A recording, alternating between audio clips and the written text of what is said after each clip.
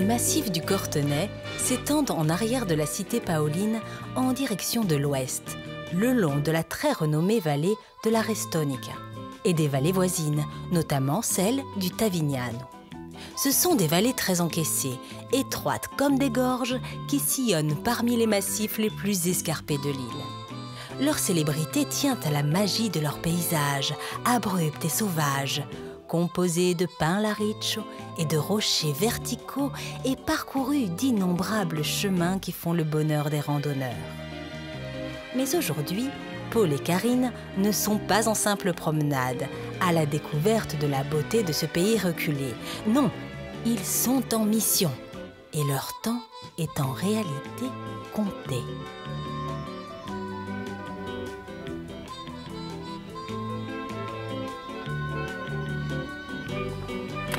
Karine, allez. hein. Allez, Tu marches trop vite. faut faire vite. J'ai promis, Tu as promis à qui? J'ai promis à un ami berger de l'aider. Alors il faut pas perdre de temps. Enfin, tu m'avais dit qu'on faisait une balade, pas une course dans la montagne. En plus, ça fait plus d'une heure qu'on marche. Je commence vraiment à avoir le ventre qui gargouille. là. Qui pire, Gao J'ai faim. Comment ne plus t'entendre J'ai faim, j'ai faim, j'ai faim. En me donnant à manger. Tu me mets une tête comme ça. «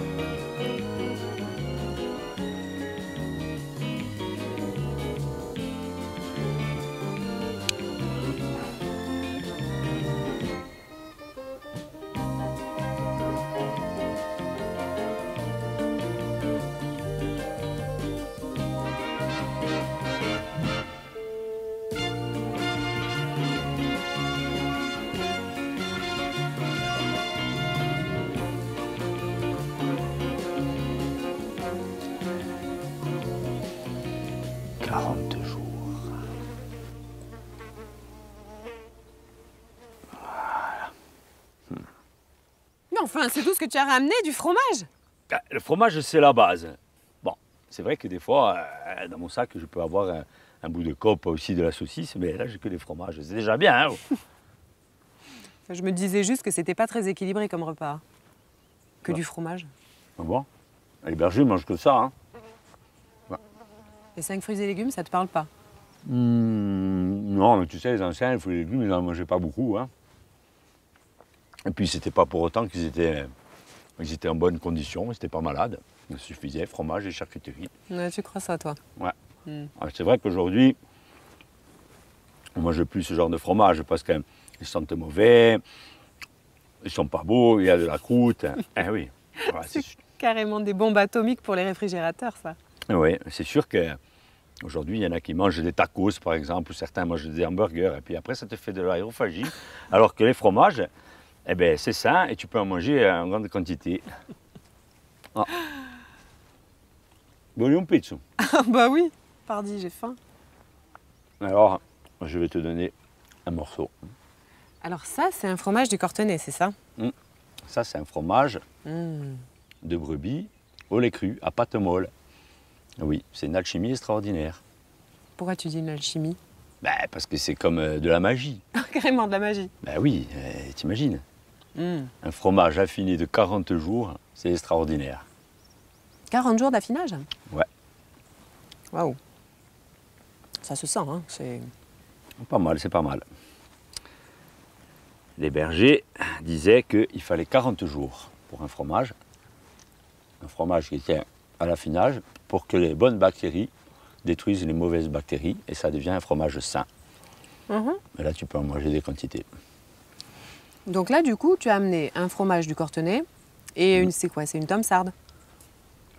Non, on ne peut pas emmener de la tome sarde en montagne chez nous.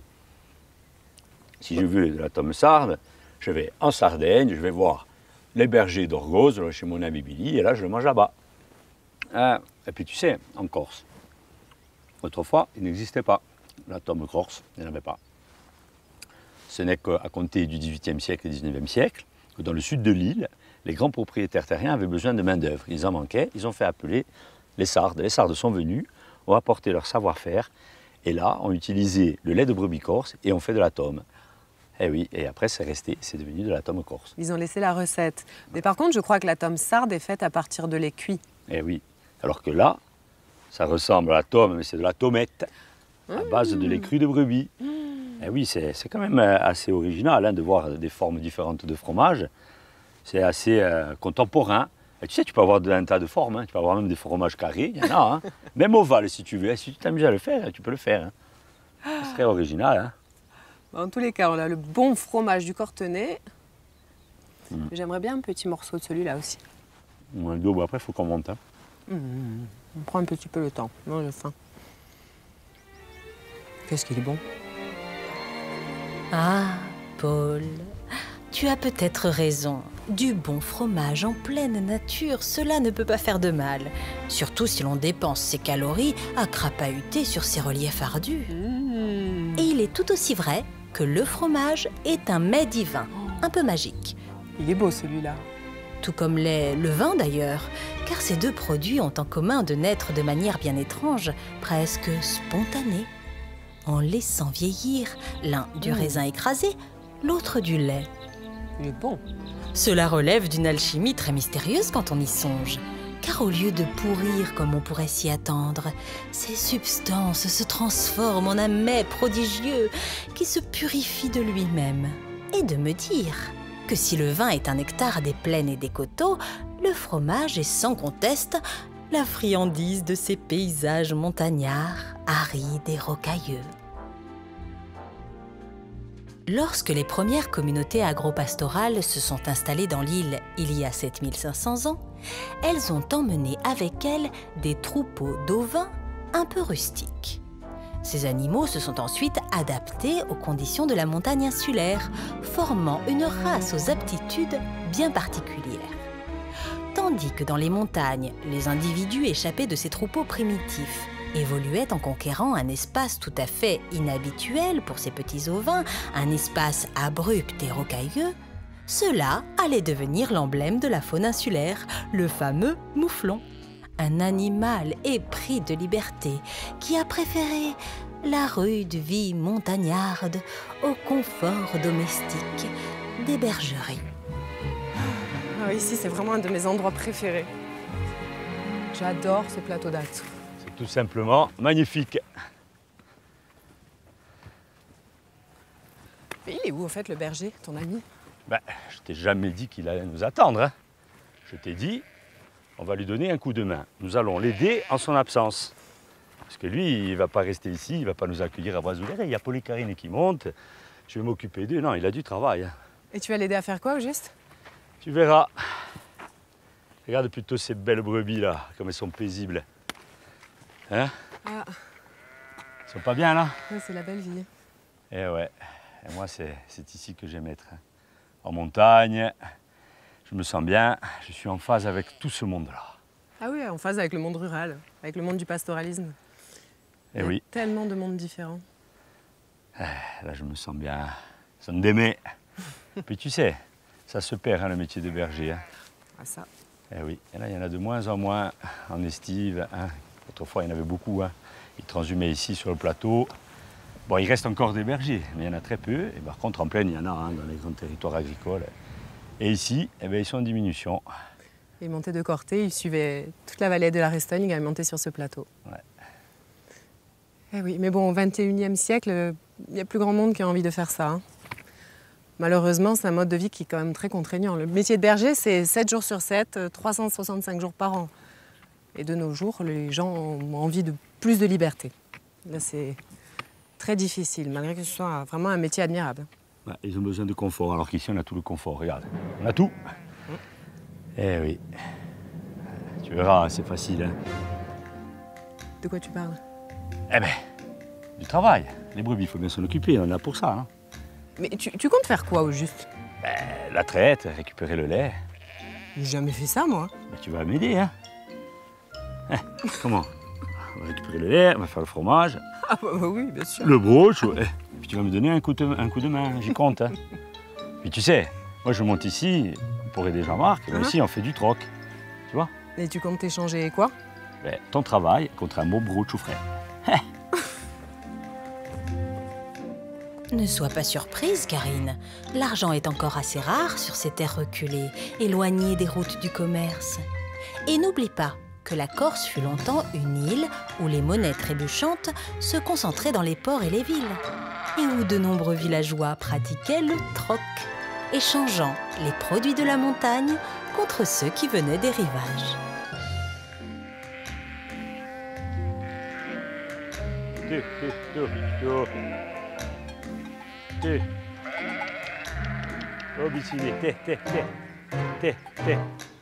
Té, té. Té. C'est quand même très curieux comme animal, la brebis. Ouais. Et quand tu les regardes bien, leur face, tu vois, il y en a beaucoup qui ressemblent au mouflon. Parce qu'on ne sait pas si c'est le mouflon qui est l'ancêtre de la brebis ou la brebis qui est l'ancêtre du mouflon. Une chose est sûre, c'est que le mouflon, il est arrivé ici en Corse, autrefois domestique, hein, et puis c'est- il est parti dans les montagnes, il est redevenu à l'état sauvage. Et là, il s'est adapté à toute la montagne, hein, à sauter de roche en roche, et aussi aller dans les pierriers, obstiner. C'est sûr que si tu mets une brebis dans les pierriers, tu cours à la catastrophe. mangia un pezzo di pane. En tous les cas, la brebis a été domestiquée il y a très longtemps, il y a à peu près 10 000 ans. Ouais. Bon, alors, on ne connaît pas trop l'aspect du premier animal domestique, mais on sait que c'était un petit herbivore, qu'il était grégaire et qui vivait dans les plaines du côté de l'Anatolie au Moyen-Orient. Et de nos jours, bah, les seuls euh, ovins sauvages qu'on retrouve, ce sont ceux qui ont échappé aux mains des hommes et qui sont repartis vivre en liberté dans les montagnes. Et Eh oui, et c'est vrai que la brebis, tout comme le mouflon, ils ont été transportés en Méditerranée. hein. À l'époque, on faisait du commerce et du troc et sont arrivés sur les îles comme la Corse. Et les hommes ont aussi créé des races. Oui. Regarde par exemple le mouton à laine. Bien, au cours des siècles et des siècles, même des millénaires, ils ont sélectionné des individus qui avaient le pelage le plus épais, le plus dense, avec les poils les plus longs, et ils les ont fait reproduire entre eux. Et ils ont de cette façon créé le mouton à laine. Mais ça a pris 5000, 6000 ans. Eh oui. Et la brebis corse, hein, comme elle est belle. Ah, d'agré. Ah, il y a le castrado. En fait, c'est une race qui est rustique et qui est adaptée, bien sûr, au territoire de l'île. Et elle est pire au pezzo di pane. Et en même temps, parmi elles, c'est surtout les béliers, sont les leaders. En fait, c'est eux qui vont diriger le troupeau. Bien entendu, le berger, qu'est-ce qu'il va faire? Il va nettoyer, entretenir l'espace, en faisant parfois des écobuages. Et après, ben, les brebis elles vont partir un petit peu euh, partout, d'elles-mêmes. Elles vont suivre la- le chef de groupe. Et elles vont bien sûr revenir à la bergerie quand euh, on va les traire, le matin et le soir. Et après, tu sais par exemple qu'à 4 heures, autant elles se trouvent à la pointe là-haut, et qu'à 5 heures, elles sont juste en bas. Et tu veux dire que le troupeau se dirigeait tout seul? Eh ouais, ils étaient indépendants, le troupeau. Ma, hai finito Ça, c'est Michel, c'est le chef. Le castrato du dintinaggio. Allez, allez, maintenant, on travaille. Hein. Bene, doucement, Karine, piano piano. Te, te, Mais ça va pas être évident. Ah te, te, te, te, abiciné. Il me suit Te. Non, toi, je veux pas. Il est amoureux. Té, té, té. Té, té, té.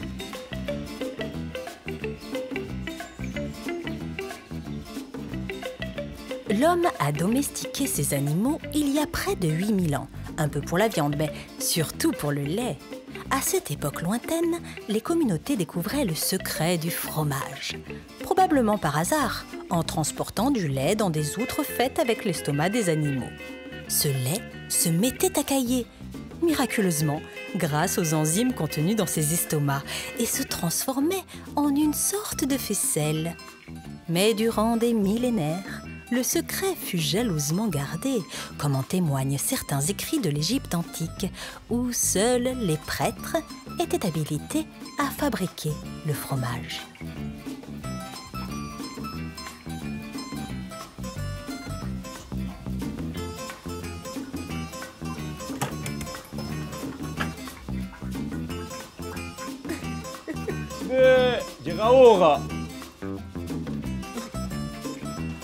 Et regarde, j'ai eu le temps de faire tous les fromages, de les retourner, de mettre le sirop, le petit lait dans, dans le badiolo. Hein? Il y en a une qui se laissait pas attraper, j'ai dû courir après pendant 10 bonnes minutes. Mais tu avais qu'à la laisser, cette brebis.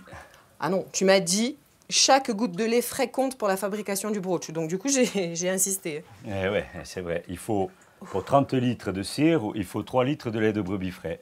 Je verse? Au burriccio, vas-y, lampe à bourre. Lance, lance, vas-y. Tout d'un coup. Vas-y, doucement. Puis au dedans, voilà. Ça sent bon. Ça, c'est le pourricho. Et maintenant, tu as la pourricha ou latte. Là, tu remues doucement. Et tu attends un petit peu. Ça fait de la mousse. Ça va faire l'écume à choum. Mais là, il faut attendre un bon moment. Donc là, tu vois, pas beau Ça sent surtout très bon. Ouais, Mon chaudron de cuivre au badiolo. Il est très beau. Par contre, il faut qu'il soit bien étamé. Tu sais, au fond, il faut une couche d'étain parce que sinon, ça brûle. Ouais. Et chaque berger connaissait très bien leur chaudron. Et après, bien entendu, le feu est très important. hein. Il faut que la température du chaudron soit constante. Et là, de temps en temps, Il faut remuer. tu remues. Voilà. Usero, le petit lait, au burricho. Et tout l'aspita. C'est long, hein. En même temps, on est bien ici. hein.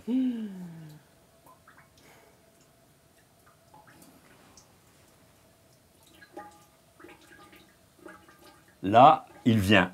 Je l'accompagne. Ah,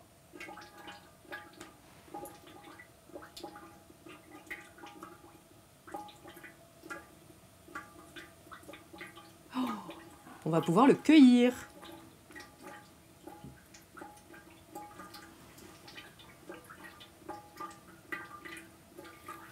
C'est joli cette cuillère en bois. Ouais, au goût du holo. Et donc c'est avec ça qu'on va récupérer le dessus. l'écume, voilà, comme ça.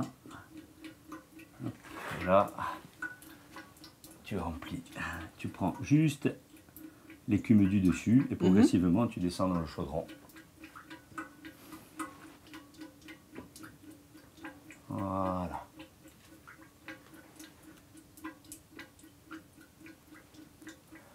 Bello broccio. Mais ça demande quand même un sacré savoir-faire, non? Ouais. En tout cas, c'est tout un travail, hein, tu as vu. D'abord, tu fais ton fromage. Après, tu récupères Ouzir, le, le lactosérum ou le, petit lait. Le petit lait. Après, il faut remettre le petit lait à chauffer dans le paillot en cuivre. Bien sûr, heureusement que tu m'as apporté le lait de brebis au bourri, tu, tu Bah, mélanges. Sans ça, tu risquais pas de faire le brooch. Eh non, c'est important le pourricho. Et après, tu es obligé d'attendre. Et après, à la fin, tu as un bon brocho. Allez, fa la peine à doux, non? Comme ça, je me repose un peu. Oui.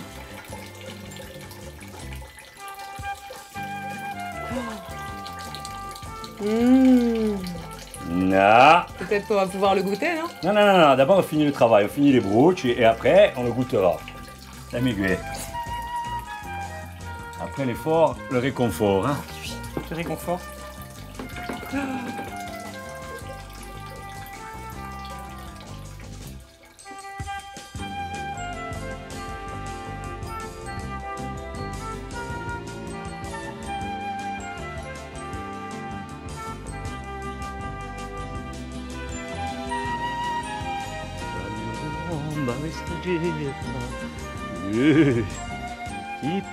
Per lungo viaggio.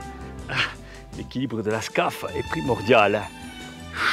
Allez, Polo, qu'est-ce que tu fais? Dépêche-toi Eh, toi tu crois que c'est facile Hein? Chi va piano va sano, chi va sano va un agile. Hein? Enfin, j'en ai porté deux fois plus des fromages, allez. oui, c'est ça, dans les films. Faut pas faire tomber un fromage, hein, capito, non?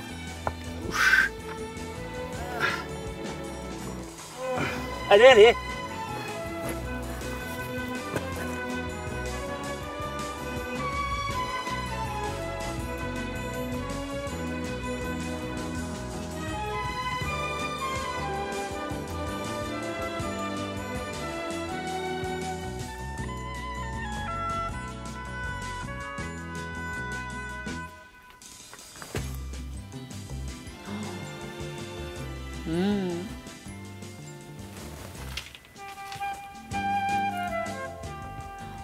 20 jours d'affinage.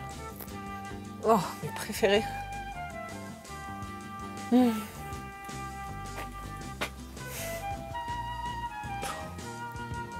Dis, tu crois qu'on pourra en prendre un comme ça aussi ou on va goûter que le brooch? Tu ferais mieux de m'aider à ranger les fromages plutôt que de penser à, les manger. Hein. Viens là, va.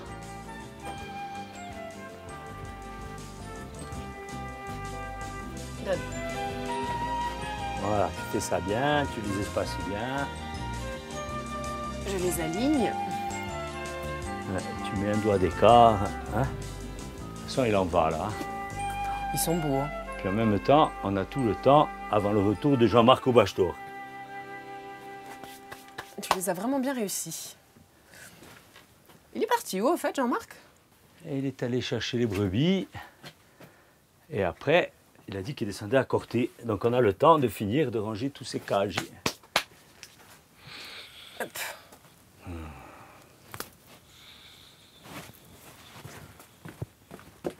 Polo. Et si Jean-Marc n'est pas rentré à temps, comment on va faire pour goûter le brooch? Eh bien, soit on attend son retour, soit...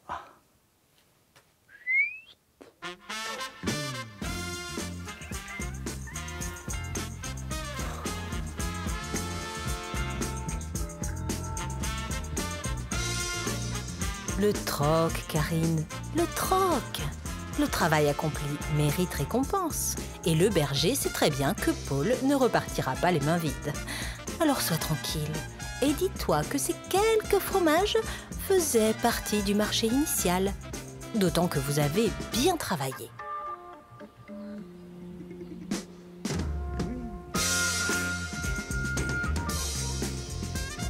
Là, oui, maintenant on peut le déguster, le brocho. À l'abri des regards, dans la chiostra. Arrête un peu de stresser, là, il n'y a personne, siamo tranquilli. Et en plus, brocho menthe Ah, enfin. une feuille de menthe et una vetta di brocio. Il était temps. Mmh. Oh, quel délice. Maintenant, tu peux aller. Ah bah, et moi? Mais Je t'en croyais pas capable, tu vois.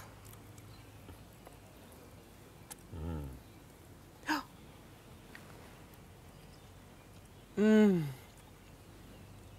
Oh, qu'est-ce qu'il est bon. Ouais. Avec un peu de sucre dessus ou de miel. Oh. Ou alors carrément en omelette, avec la menthe que tu viens de ramasser. Ou en beignet. Sono abbondanza. Il est crémeux. Incroyable. Hmm.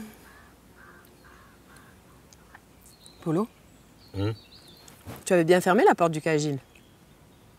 J'ai un doute.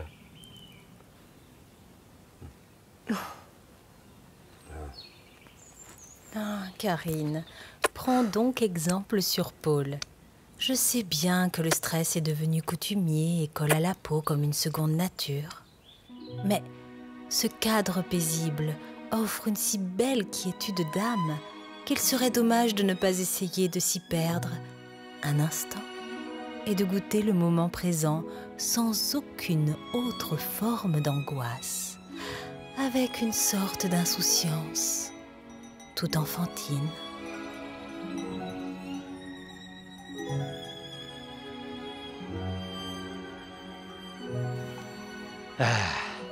Depuis le temps que j'attends ce moment, je suis content d'être là. Tu m'en parles depuis des années. Parce que c'est quelque chose d'exceptionnel, tu te rends compte? Pour les Cortenais, c'est un vrai pèlerinage de monter sur le plateau d'Altz. Imagine-toi, deux fois par an seulement, le soleil, en se couchant, passe derrière le Cap Tavunad et réapparaît dans le trou et illumine le plateau d'Altz avant d'aller se coucher de l'autre côté. C'est magnifique.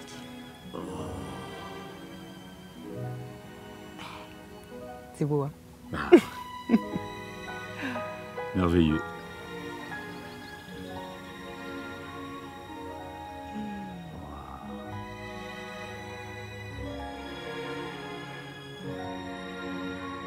Le plateau d'Alzo est effectivement un endroit merveilleux, où le temps s'écoule avec une si grande paresse que tout semble immuable, figé dans l'éternité. Loin des fureurs chaotiques du monde moderne, c'est un fort sentiment de plénitude qui se dégage de ce paysage. Un sentiment qui rassure et laisse entrevoir le divin.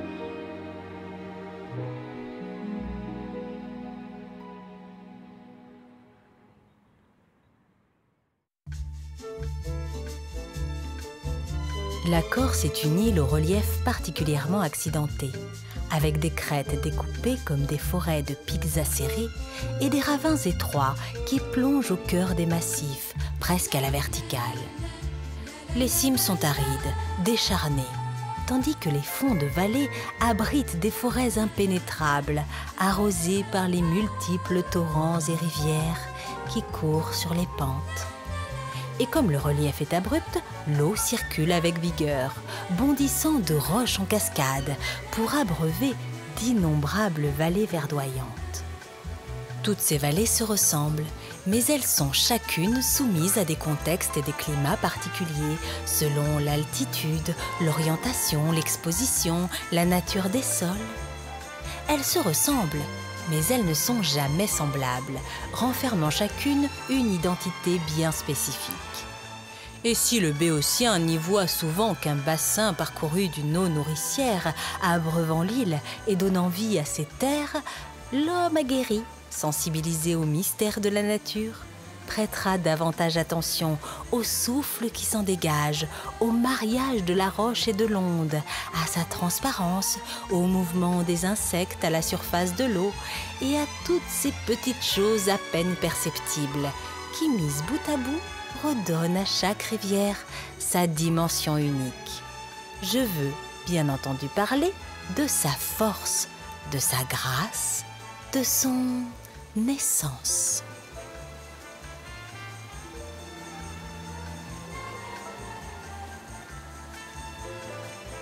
Che è carine. Tu vois cette eau de la Restonica Elle a un pouvoir étrange, un petit digoumique. Hein Qu'est-ce qui est étrange? Ce qui est étrange, c'est le pouvoir de cette eau. Cette eau, elle est limpide. Elle désaltère. Et en plus, elle est très bonne à boire. Mmh.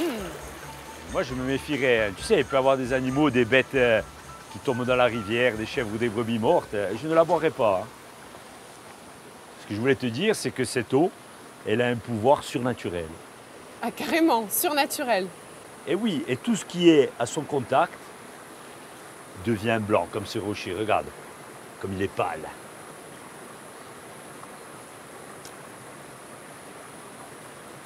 Et tous ces galets qui dévalent le lit de la rivière ont la couleur blanche éclatante de la chaux. C'est quasiment de l'eau bénite alors. Eh oui, c'est la qualité minérale qui est particulière. Et l'eau a pour vertu de blanchir et de purifier tout ce qui va aller dans son lit.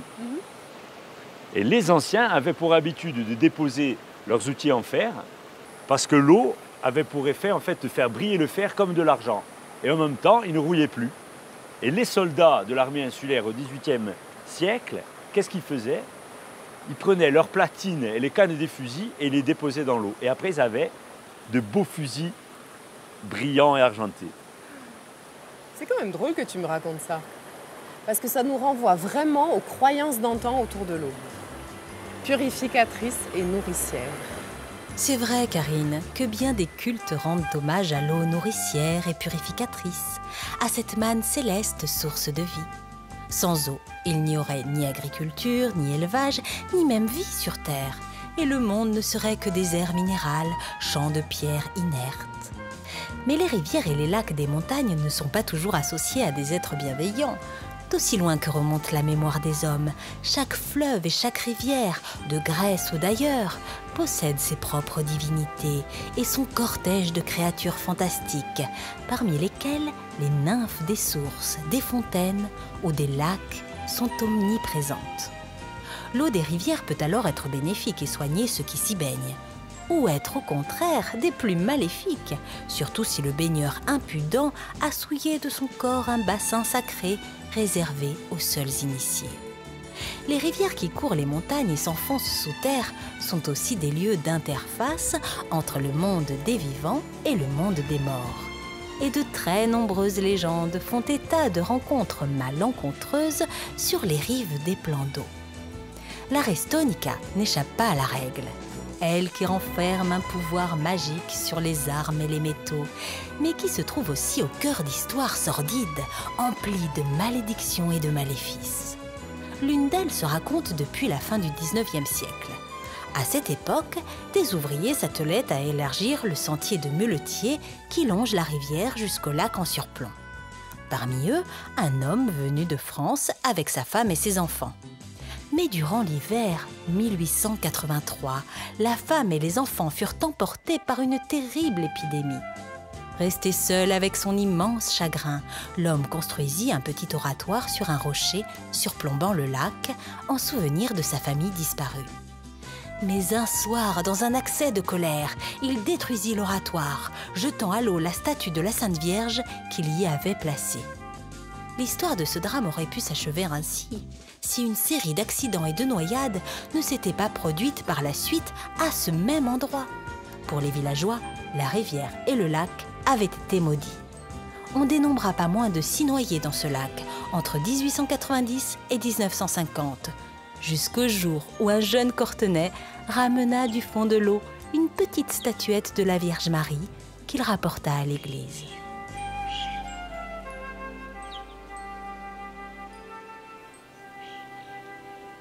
J'adore ces cuvettes et ces cirques. Et toutes ces montagnes qui nous entourent comme des aiguilles acérées. J'aime la pierre et la géologie. Et dire que c'est un morceau des Alpes, ou plutôt une portion entre les Alpes et les Pyrénées qui s'est décrochée et qui a dérivé jusqu'à sa position actuelle. il y a de ça plus d'une vingtaine de millions d'années.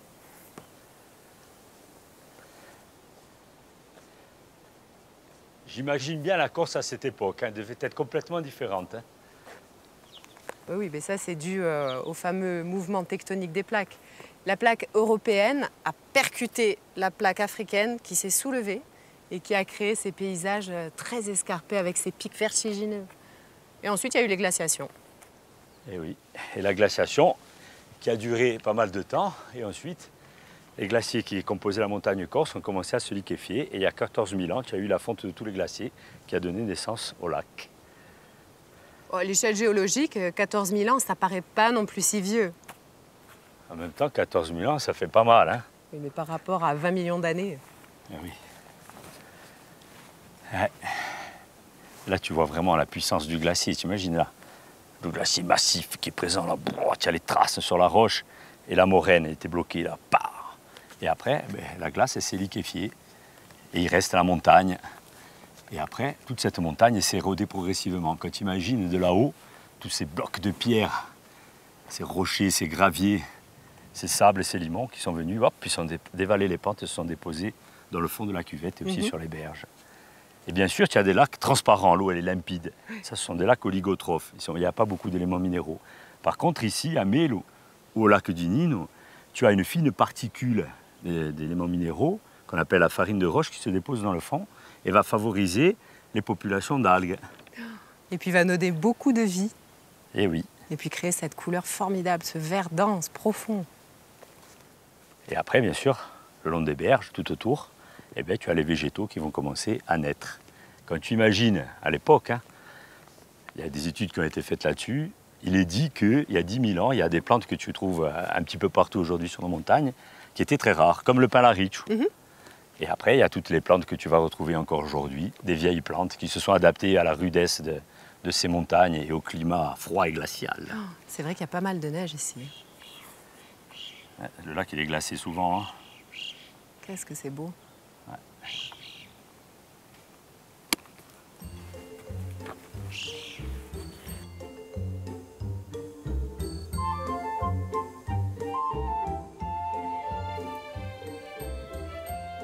Quand tu penses à toutes ces petites plantes. Viens voir. mais ça, c'est l'immortal des frimeurs. Eh oui, à là Les Delweiss corse. Donc ça, c'est une plante qui n'est vraiment pas exigeante. Regarde comme elle est jolie. Avec toutes ces petites feuilles blanches, tous ces pétales. Les Elle uns aime. sur les autres. Et ces pétales sont secs. Comme du papier. Ouais, Elle est magnifique. T'as celui-là, tout ce qu'on a vu à Baville. Ouf, il y en avait plein. Ils étaient plus grosses, hein. Là, elles poussent vraiment dans le caillou. On les trouve qu'en montagne. Et tu sais que cette plante, elle est très ancienne, une des plus anciennes de Corse. On peut la définir comme être une plante du paléo-endémisme. Oh, ah oui, c'est très vieux.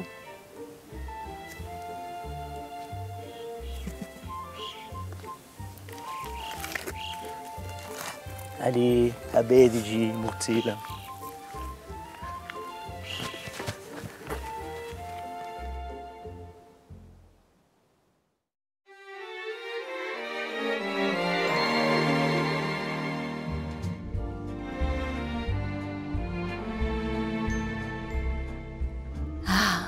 Ces lacs de montagne. Ils ont vraiment quelque chose de magique, eux qui semblent presque irréels, comme apparus par enchantement au milieu des cimes. Les anciens pensaient que ces lacs traversaient la croûte terrestre jusqu'au réservoir souterrain de la nappe phréatique. Ils ne pouvaient pas imaginer que ces étendues d'eau aient été les reliquats d'anciens glaciers, nés à une époque où toute la montagne était recouverte de glace et disparus il y a quelques 14 000 ans. Ils supposaient presque naturellement que cette eau sortait de terre. Et comme il n'y avait pas de source aux abords de ces bassins, ils en déduisaient que cette eau suivait d'immenses cheminées qui communiquaient avec les profondeurs de l'île. Mais le monde souterrain est aussi celui des enfers. Et les anciens pensaient que ces trous d'eau pouvaient être des portes d'accès vers les cavités démoniaques. Et ils ne s'en approchaient qu'avec la plus grande méfiance. Nombre de légendes corses mettent ainsi en scène les lacs comme des endroits maléfiques, des lieux de tentation où s'échappent à la nuit tombée les pires créatures infernales. Et si ces légendes font aujourd'hui partie du folklore insulaire, elles témoignent d'une époque où la montagne restait un lieu sauvage et craint que nul n'osait affronter.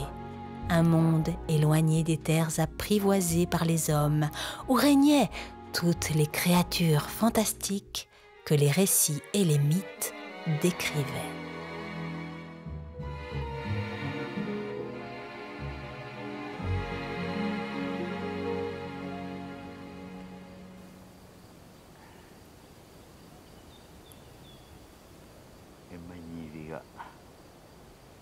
Ça, je crois qu'elle va adorer la petite réponse.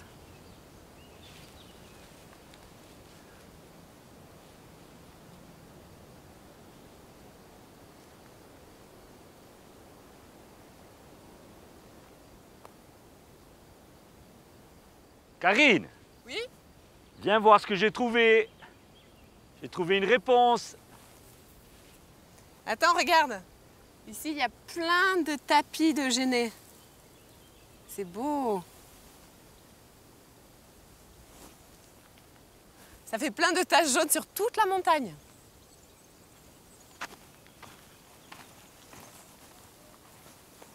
Et j'aime pas, je la garde pour moi. Qu'est-ce que tu marmonnes dans ta barbe? Non, rien, rien, je parlais aux plantes. Oh, la réponse. Belouche, hein Ah oui. Oh. Un bleu soutenu, presque mauve. Avec toutes ces petites cornes qui sortent. On dirait un pompon pointu, mais en fait, elle est toute douce. Celle-ci est endémique. Hein Elle a sa cousine dans les Alpes, mais là, on a la réponse dentée d'Igour, ces gars. Ouais, c'est vrai que l'autre lui ressemble. En tous les cas, c'est la famille des campanulacées. Phytema serratum en latin. Et puis cette plante a une faculté d'adaptation extraordinaire. Tu la retrouves en montagne, bien sûr, de 1000 mètres à 2700 mètres. Et en basse altitude, elle va trouver des coins d'ombre. Et ici, par exemple, en haute montagne, eh bien, elle va se mettre au soleil. Va chercher la chaleur. Et là, elle fait contraste avec le genêt dont tu parlais, le genêt corse. Tu vois? Qui est très petit, enfin qui peut monter même à 80 cm de haut, des belles fleurs jaunes. Et par contre, il est pourvu de plein de petits piquants tout regroupés et trapus. Et ça fait partie des fructicées naines que tu retrouves en montagne et sur les crêtes. C'est très joli toutes ces couleurs. Maintenant, on va aller voir ces restes. Ici, c'est resté. Solérol.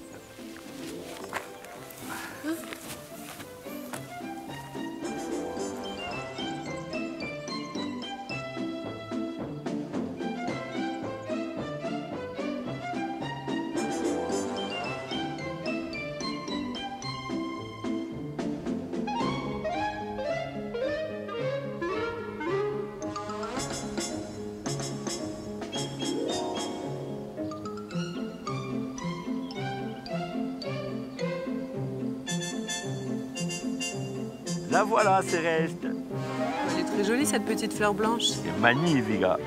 Moi, c'est ma préférée. Tu sais pourquoi? Parce qu'elle est d'un blanc éclatant. Mhm. Elle a cinq pétales bilobés. On dirait que c'est fendu au milieu. Ça fait presque 10 pétales. Ah, c'est vrai, c'est original ça. Eh oui. Alors là, ces restes, on la retrouve un petit peu partout dans les massifs corses, sauf dans le Cap Corse. Euh, L'altitude, c'est trop bas. Eh oui. Alors, on la rencontre sur des rochers. Des fois, elle va planter ses racines dans les interstices. On la retrouve en touffe. Et on la retrouve aussi au milieu des fructicées naines, tu vois, au milieu des genêts et des genevriers. Les genévriers. Genévrier, par contre, alors on en retrouve vraiment partout sur les montagnes. Et ça fait de beaux tapis tout souples, tout moelleux. Ouais. Regarde. Oh. Et par contre, très souvent à côté du genévrier, il y a le genêt. Hmm. Ils sont carrément inséparables. Alors un est tout doux et l'autre euh, un peu plus piquant. À choisir pour faire la sieste, il vaut mieux s'allonger dans des genevriers. Ah ça. Eh.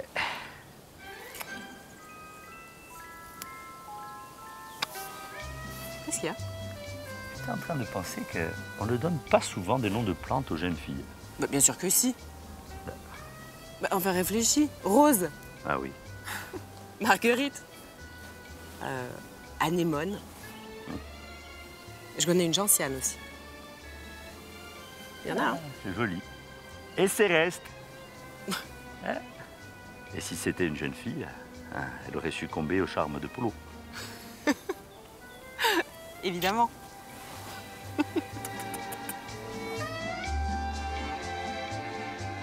Toutes ces connaissances sur la géologie et la botanique de l'île, vous les devez, les amis, aux naturalistes des 19e et 20e siècles qui entreprirent la description du monde et de ses régions inexplorées.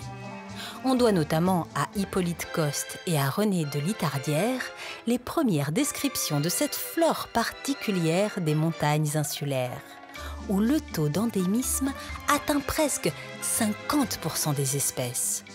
Il faut dire que ces petites cuvettes verdoyantes, au cœur des montagnes, forment comme des îlots de vie dans un océan minéral, des îlots circonscrits où les espèces alpines survivent en vase clos, adoptant certains particularismes au fil des générations.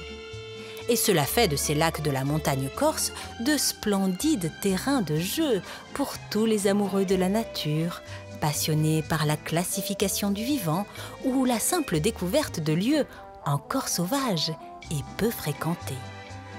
Alors dites-vous bien, les amis, que vous suivez les traces de ces illustres précurseurs des hauts sommets insulaires, autant savants érudits qu'aventuriers intrépides.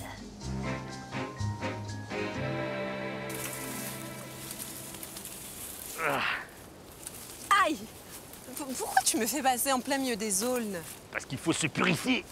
Se purifier de quoi? Des chimigés, de la punaise de lit. Oh, je déteste ça. Il y en a plein. hein. Attends, Il y en a dans nos sacs à dos. Et comme ça, on passe dans, le- dans la bassette, dans nez, parce qu'elle déteste l'odeur du basse. Oh, les bedbugs, j'ai horreur. On les appelle comme ça en anglais, bedbugs. Ça sent bon. Je savais pas. Par contre, on peut bien se frotter, tu vois. Et comme ça, c'est un bon répulsif Ah, ça, on n'aime pas. à ce genre d'insectes que je déteste. Les puces aussi, hein, je les aime pas. Les tiques aussi. Voilà. En tous les cas, il fait frais là-dessous. C'est très agréable. C'est un petit peu normal, tu sais, parce que l'aulne a besoin d'eau. Donc il va, il va- là où tu vas avoir de l'eau, tu vas avoir des aulnaies. Et de loin, quand tu regardes dans la nature, quand tu n'as pas d'eau dans le sac, tu peux te dire, tiens, il y a une bassette, et dessous, il doit y avoir de l'eau. Et là, tu commences à piocher avec les mains. Bon, c'est sûr que tu vas avoir les doigts, les ongles noirs, hein, mais au moins tu t'abreuves. C'est une bonne astuce. Puis c'est un endroit de quiétude ici pour faire la sieste à la fraîche. Aïe Oh Ne lâche pas les branches Attends, je suis accrochée. Ah bah voilà, maintenant je l'ai perdu. Paul Tu es passé par où?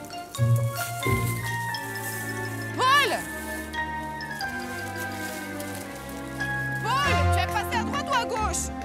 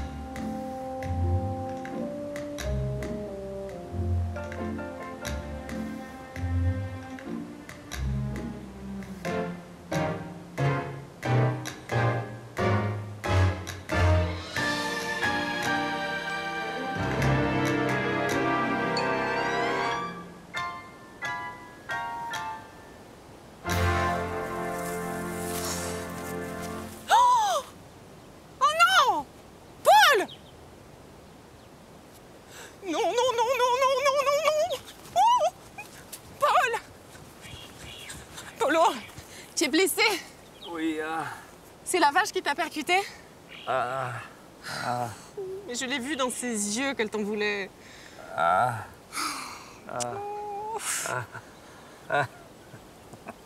En fait, je ne suis pas blessé, je suis tout simplement fatigué. Bon, enfin, ne reste pas là comme ça, tu vas attraper une insolation. T'inquiète, j'ai la potanée du sud et les cheveux de bouc qui me protègent. Allez, lève-toi. Ah, tu sais, ces sentiers cortenais m'ont épuisé.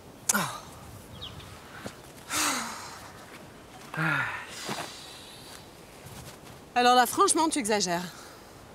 Ah, on a quand même la chance de pouvoir s'allonger sur la meilleure des couches, non?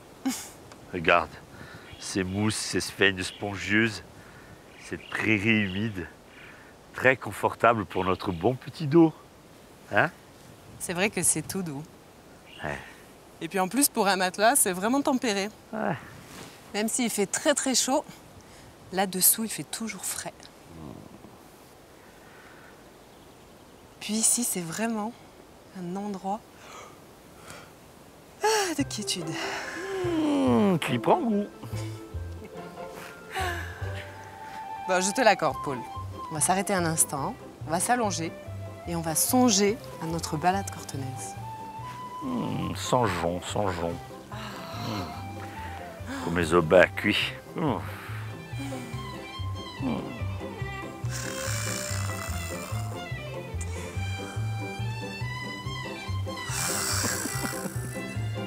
Tu ronfles Mais non, je te fais une blague.